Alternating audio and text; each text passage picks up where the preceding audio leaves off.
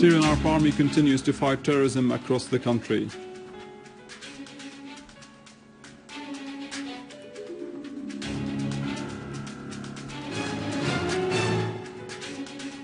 And four Lebanese soldiers killed in a terrorist attack in Hnain area.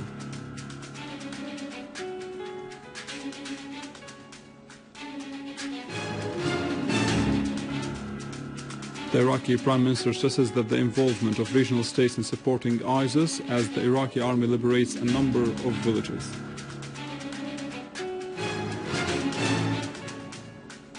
And in a lighter note, Syria is renowned for its wooden mosaic handicrafts that reflects a rich culture and a profound civilization.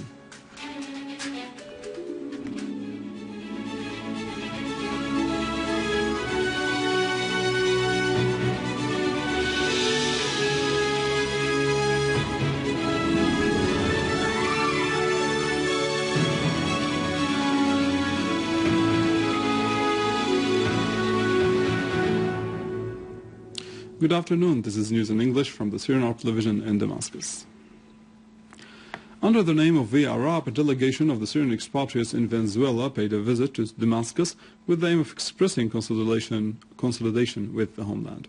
Members of the delegation laid a wreath of flowers on the monument of the unknown soldier and were briefed on the battles of Hattin, Maysalun and Tishrin, which reflects the steadfastness of the Syrian people and their fight to defend their country.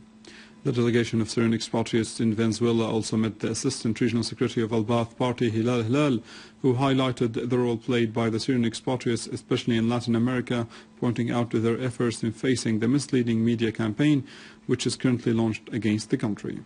For his part, head of the delegation asserted that the visit comes within the framework of several activities they organized to support Syria in its fight against terrorism.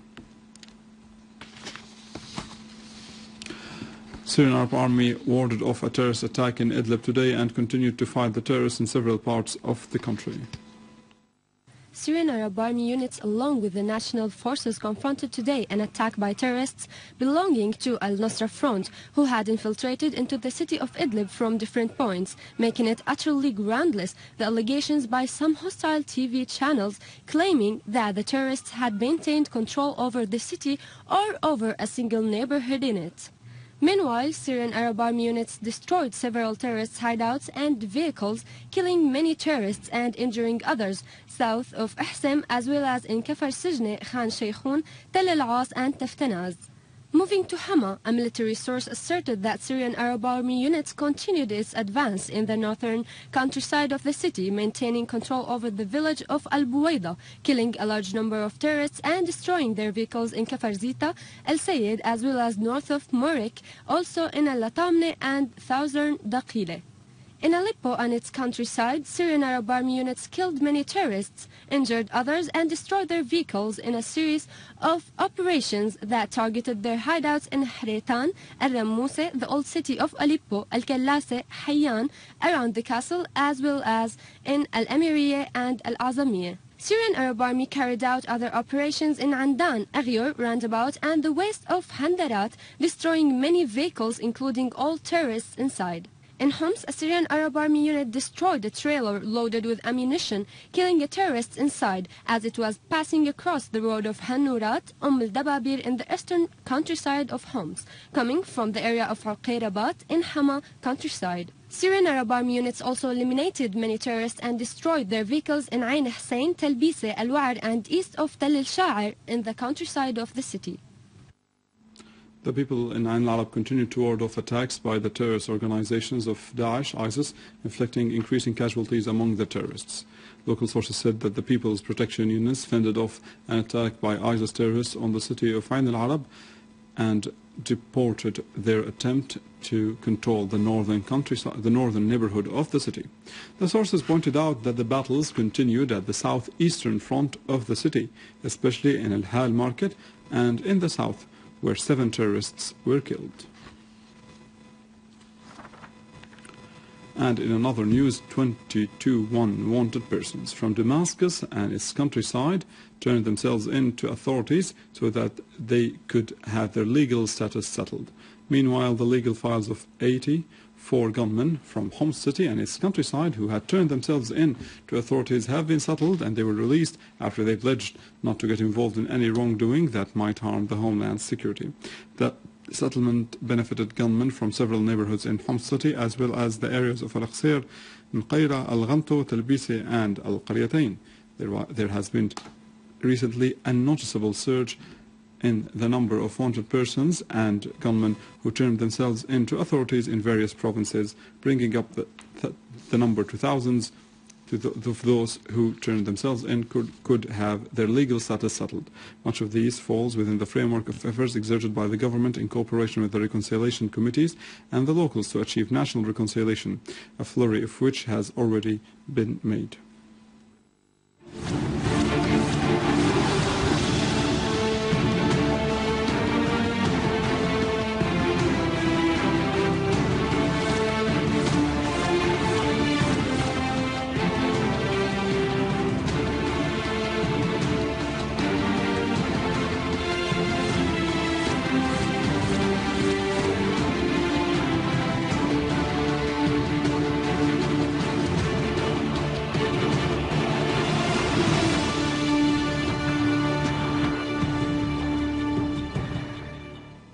Iraqi Prime Minister Haider al-Abadi has said that the danger posed by ISIS on Iraq would have repercussions on all the region's countries.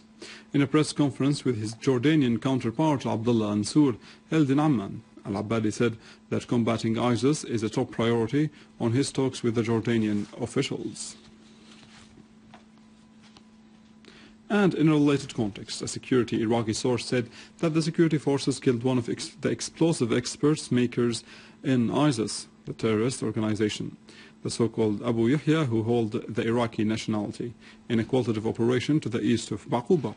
The Iraqi army continues in its widespread operations to expel ISIS from Al-Hwaz, Al-Iskan, and Al-Tamaim neighborhood in Al-Ramadi area. Meanwhile, other sources said that the tribe's sons controlled Al-Karami neighborhood in the middle of Al-Mosul. Fierce confrontations have erupted early this morning between the Lebanese army and the terrorists in the vicinity of Masoud Mosque in Atabana area in Tripoli city to the north. A Lebanese military source has said that a military campaign would continue till the terrorists have been eliminated completely, dismissing the news that a ceasefire agreement has been reached.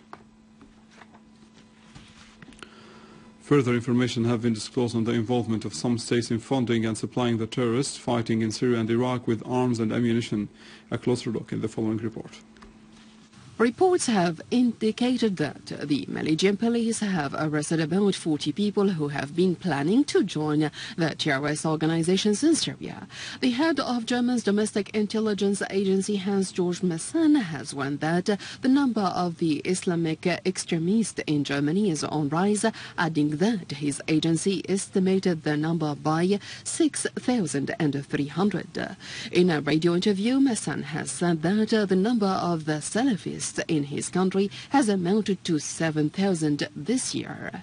Oh, All this indicate that the so-called international coalition is fragile and inactive in combating these terrorist organizations, let alone the fact that it has violated the international law by launching airstrikes without coordinating with the concerned countries.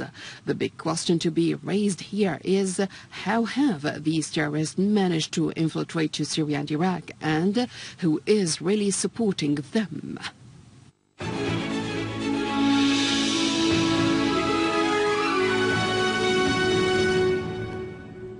Syria is famous for its wooden mosaic handicrafts that started more than 150 years ago in the country, reflecting the ancient and profound civilization in this part of the world.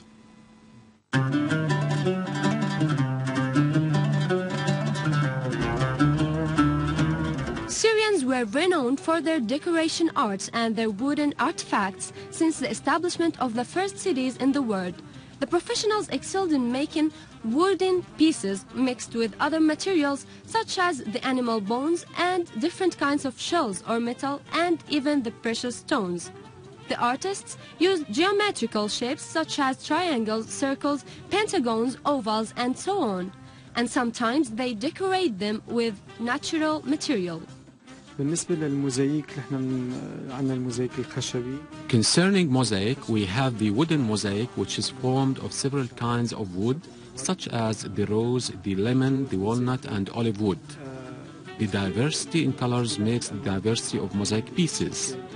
The rosewood is red, the lemon is yellow, and the walnut is brown. Also, we use the calligraphy to draw on wood. Mosaic is a kind of beautiful arts that aim at displaying harmony between the reality and the imagination. This kind of arts needs patience and perseverance to form pieces that reflect certain concepts and poetical contents. It's a traditional handcraft that started more than 150 years ago in Syria and was used plentifully by the artists who used the available materials in their rich country to reflect their civilization and principles.